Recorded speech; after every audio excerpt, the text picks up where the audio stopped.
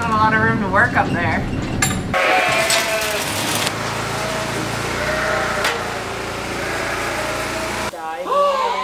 oh no! So sad. Wrong way there, dude. Cinnamon. You gonna get a haircut? It's been a bit. She hasn't kicked you where it hurts yet. Nope.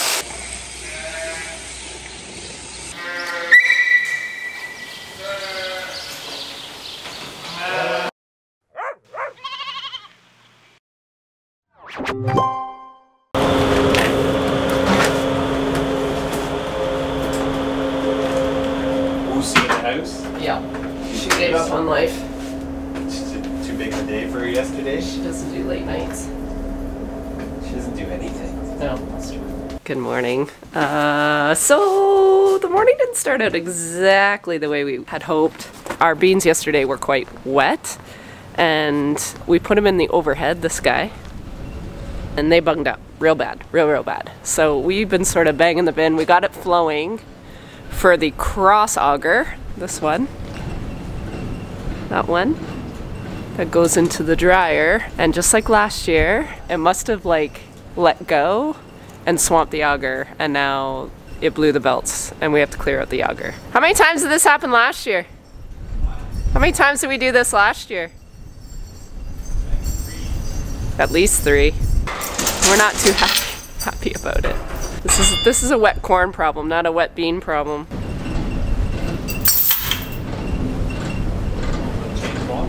Belts are up there.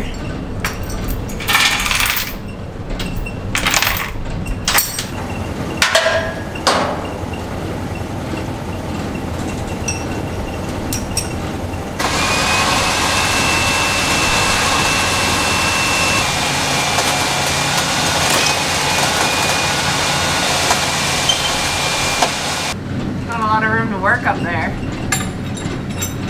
That's an ideal. Less than ideal. Get a little platform built here. Or just have them not burn off every year. Oh, if they had a platform, they wouldn't burn off. Exactly. Bin six. And then start one. Should I keep my finger close in case I have to?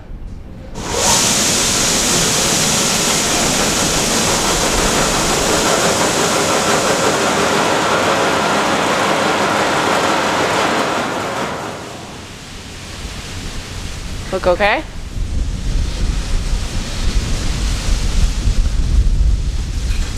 What's that noise? Nothing.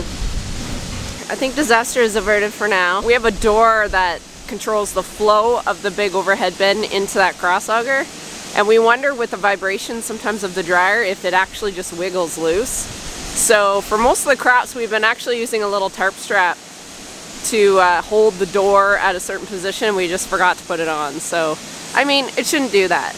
Uh, so Mark's gonna talk to the guys at Horst maybe just to see if this is a common thing. But we blew through like nine or more belts, nine, 12 belts last year. So we're making it work for now, but it's not ideal.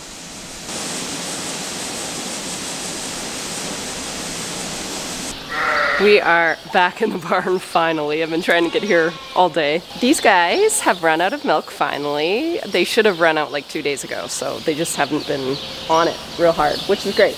But uh, I sometimes let the machine run just with water, but because these guys have been playing with the nipples so much, they're gonna probably wreck them. So I'm gonna be a little more preventative and take these out today. They were vaccinated yesterday, so that should be all fine. That's why they have red paint on them, if you're wondering. I might leave the machine here for a bit until I need to move it. I don't think it's really in the way that much. And then I did get a hold of Charlie. Tomorrow, he is coming to shear uh, the group that's due in December. That means they're about seven weeks away from lambing. I like to get shearing done before lambing, as you guys all know. And, and then a couple weeks after now, I can get them hoof trimmed and vaccinated. Now, they were just hoof trimmed like a couple weeks ago, so they won't be that bad, which is also awesome. We'll have to vaccinate them anyway, so we'll just take a look. The other thing they're gonna have done is lice treatment, but because Charlie didn't come last week, I had done my rams last week, so now that's not gonna line up with these girls. So we're gonna have to figure it out. In saying all that, I want to rearrange my pens once again. I, I went and moved Willow's pen over there just so I can do my evaluations and stuff. And now I'm gonna have to actually move, we're gonna have to swap their pens back again for a day. I wanna keep that whole side sort of available for Charlie to take those ewes right out. Do you like that water? It's yummy. yum, yum, yum. I'm gonna listen to my book. Is that okay? I'm almost done it. And it's getting really good.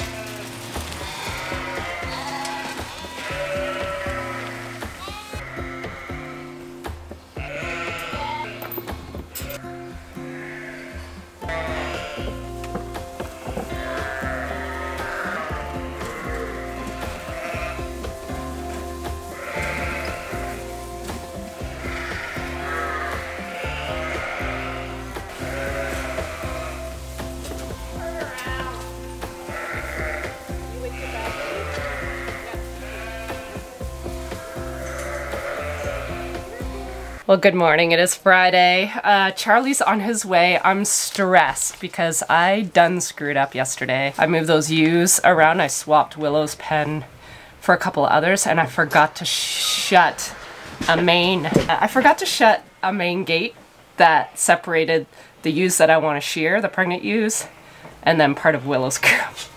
So, uh, yeah, I'm in a bit of a scramble. I have to go through my Gallagher data to see if I can pull out the ones that are pregnant and somehow be able to scan each ewe and easily separate them. I don't know if I can do it. I waited for Charlie for like a week and then the day I like totally tried to get sort of ahead of the game and it's kicking me in the pants this morning.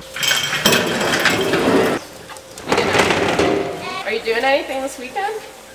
Not anymore. Die. oh no! Sudden? Yeah. So sad. I know. Oh, yeah. I'm all set.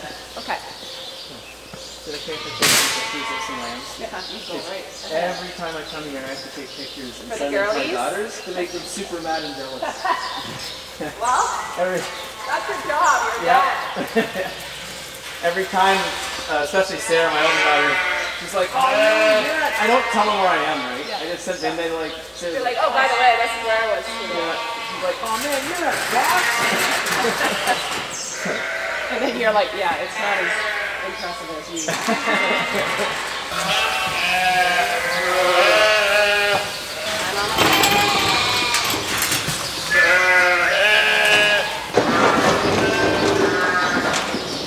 If you just use that door and put them out, get, like That's what I'm doing. It's this way, and this one's, I can move that to there, connect that, put one here. Yeah, I think we do that. Okay, oh, yeah. There. You can go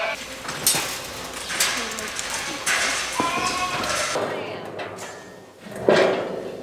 You, uh, you still have the telehandler too, right? We do. It's at the doctor's right now. Oh, okay. So if he's coming tomorrow, then no. Right, yeah, no. Okay. Cool. Sounds All good. right, thanks, Thanks, Annie. Cliff. See. Okay, so we will put just the 30 or whatever. So Willow, the ones that say not bred will go this way.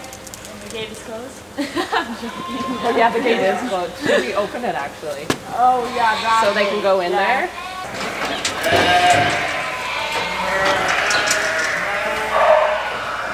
Bred? Bred? Not good. Bred? Bred? Not Bred?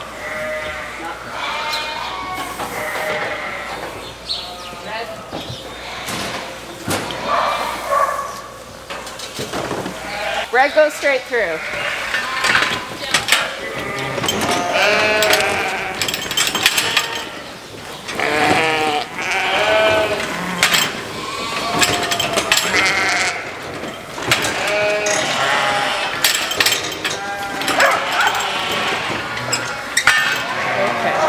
Good. At least this is working. Wrong way there, dude.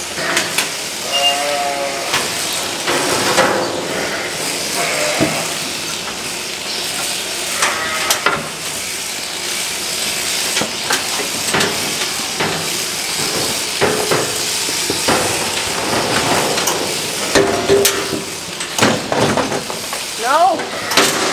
Stay back there. Come on.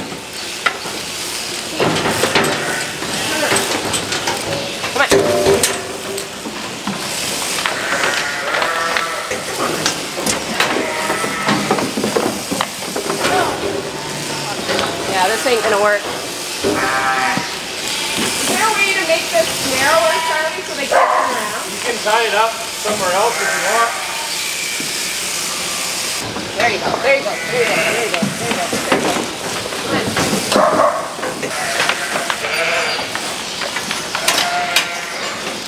It'll, it'll flow in there better if you leave two in there You know what? all the I'll, time. uh, I will, uh, get that divider.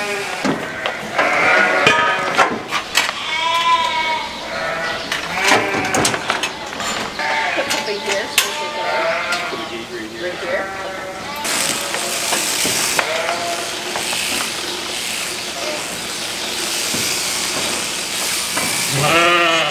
Charlie got a new, a really nice new little setup here. These are aluminum, they're really light, but we just have to make some adjustments uh, because my barn's just a little bit different. And my sheep need to go one way. If they are able to turn around, they're not gonna go the right way.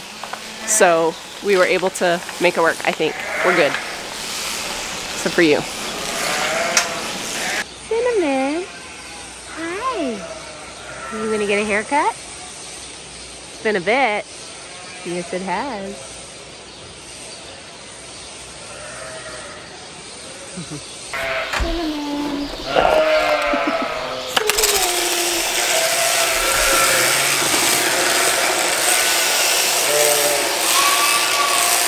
love it when they're like T-Rexes on their bum. Your legs just pop straight up. Yeah, they're like this. Oh my god, I was on, I don't know if it's Instagram, but they were showing YouTube videos that you might have forgotten about, and I swear I'd seen it before, but I can't remember for sure. Uh, it's two guys sitting at a table, and the one guy keeps imitating like an animal. So like starts out with a cow, and he goes to eat his dinner like a cow. There's a kangaroo, there's an alligator. Have you seen that one? It's old, but I'm like, oh my god, this is like, that's when YouTube was funny.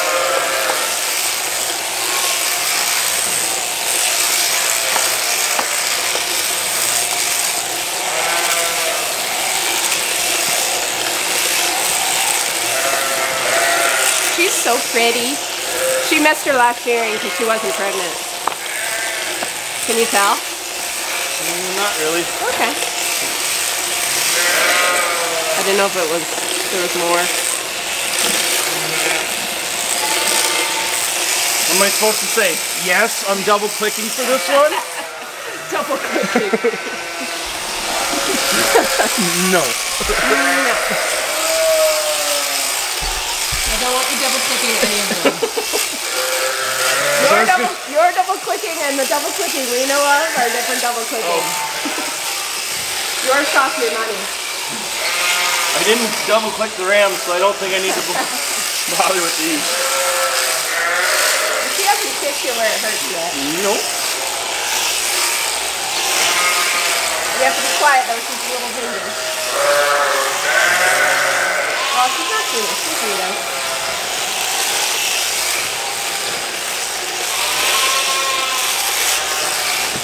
Yeah.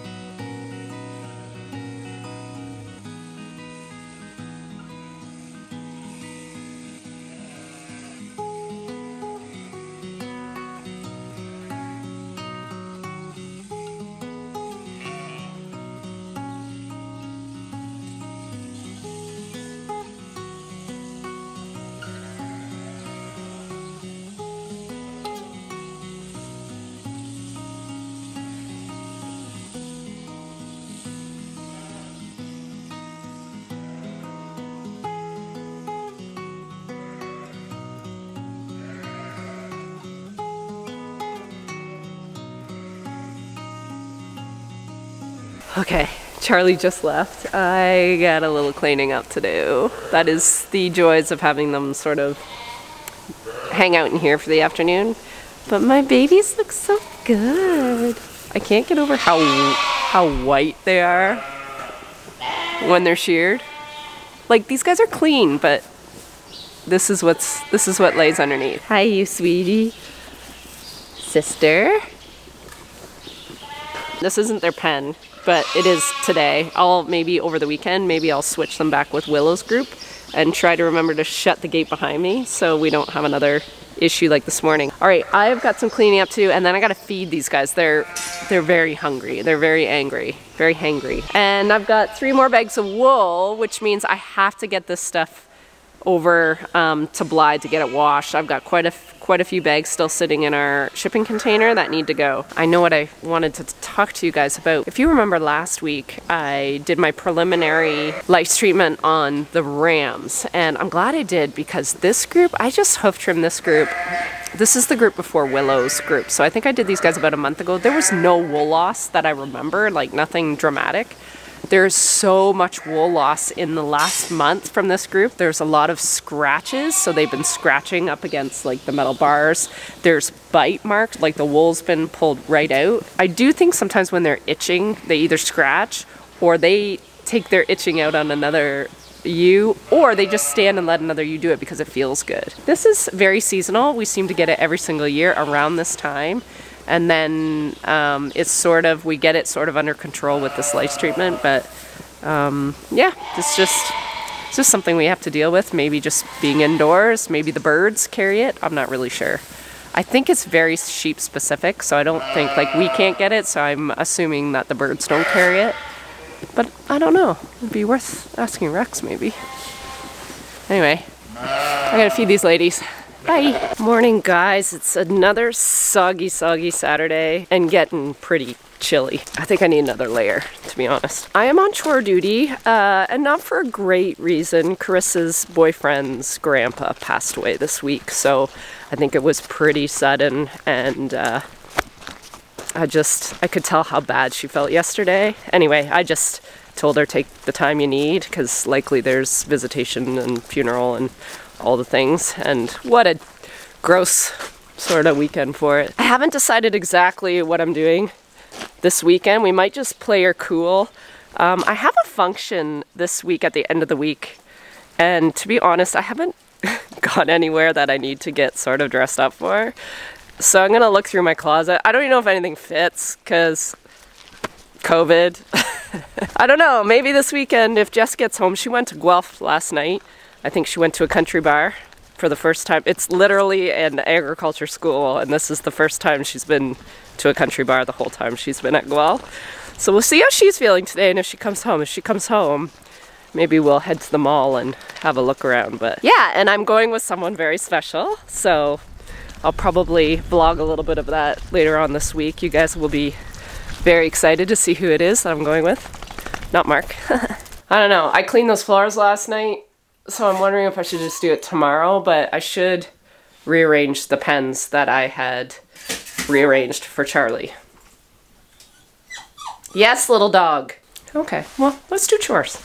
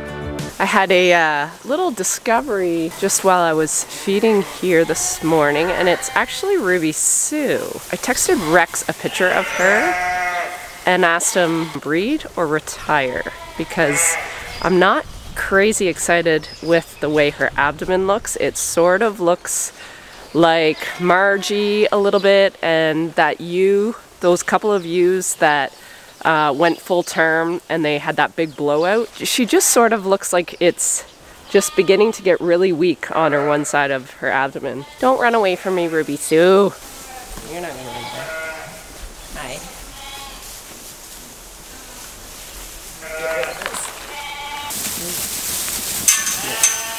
Oh, honey, can I just see your abdomen? Oh, not me good. This left side. Rex did get back to me right away and he said retire. So we just may have another retiree over the next few weeks. Once it dries out a little bit and I can get over there with the trailer.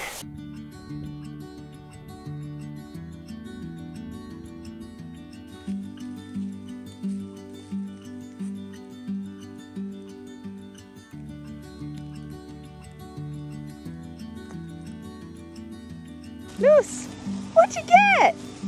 Oh, the diet is doing wonders. A bunny and a squirrel all in the same week. You're outdoing yourself.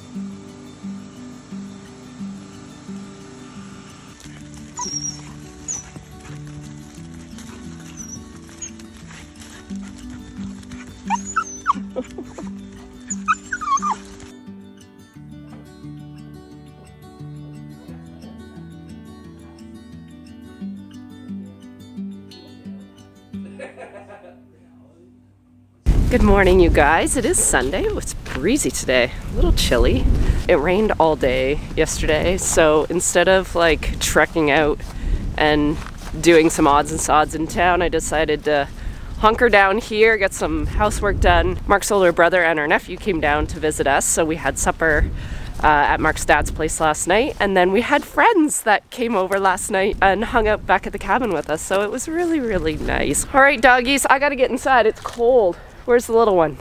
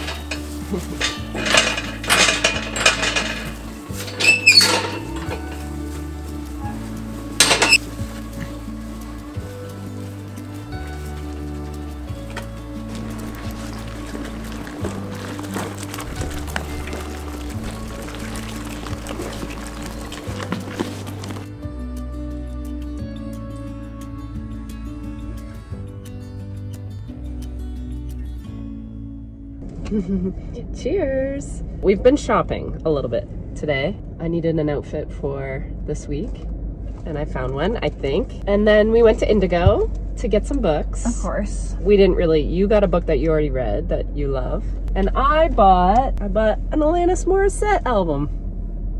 Love. Uh, we want to come on here real quick. We decided our net our next book club meeting, which is October. Uh, we're gonna try to do it for a week today. So today is Sunday. So next Sunday is like October 29th. Let me maybe double check that right I think it is. We're aiming for next Sunday night, 8 o'clock Eastern Standard Time, because that works the best for us. We can jump out of the tractor if we're in it. If you missed it, you have a week to read it. What's it called again? The Ex Hex. XX. I'll put a little thing. The Yeah, Ex Hex. I I'll put still it, have to read I'll put it it. right here in the middle of us. You haven't read it yet. I haven't read it yet. I have read it. I do my homework. I'm always like the straggler. It was uh, it was a pretty easy read, and uh, yeah, it's it gets us right ready for spooky season. Oh, and one other thing, Jess and I are dressing up, so we're having a little Halloween party. You are more than welcome to join us, and you're dressing up. And then if you want, if you're on Instagram, take a picture and like tag us in your tag us in your picture and share it, and then we'll we will share it as well because I think it'll be fun. It will be fun. Yeah, It's like a big costume party. yeah. And then I think we might do something fun for Christmas too. Mm-hmm. All right, We shall see. we're gonna go home. Stay tuned. We're gonna go see Mark. and the dogs. Oh yeah, the dogs. Right.